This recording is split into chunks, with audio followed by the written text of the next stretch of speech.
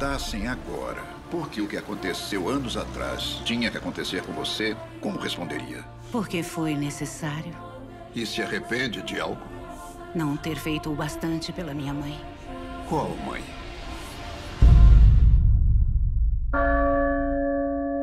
Toda vez que leio os nomes dos nossos jovens que perderam a vida, eu sinto uma grande admiração por eles. Defendem as ideias progressistas que libertarão o país do passado e de superstições religiosas. Três crianças testemunharam um milagre.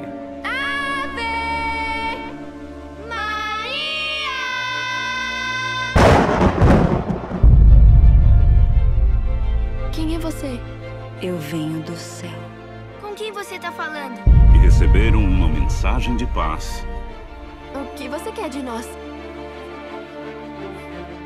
Agora eu tô vendo ela. que mudou o mundo para sempre. Mentir também é pecado. Mas é verdade, mãe. Ela era tão real como você. Por que a mãe de Deus escolheria você? O que você tem de tão especial? Pode ter sido o diabo. Ele costuma se disfarçar. Eu vim pela vidente. Viu o que você fez? Você enganou todo mundo. Eu preciso ir pra lá. Prometi pra senhora que eu voltaria pra lá. Em breve, Que mal três simples crianças podem causar? O perigo é o que eles representam. Uma multidão. Precisamos impedir. Viemos ver nossos filhos. Eu quero ver as crianças! Não, não, não, uma visão que nunca esperavam.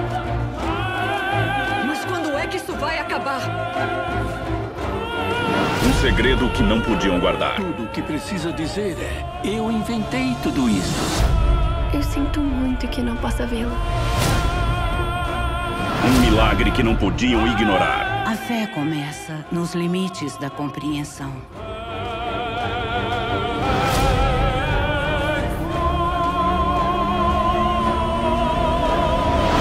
Fátima, a história de um milagre.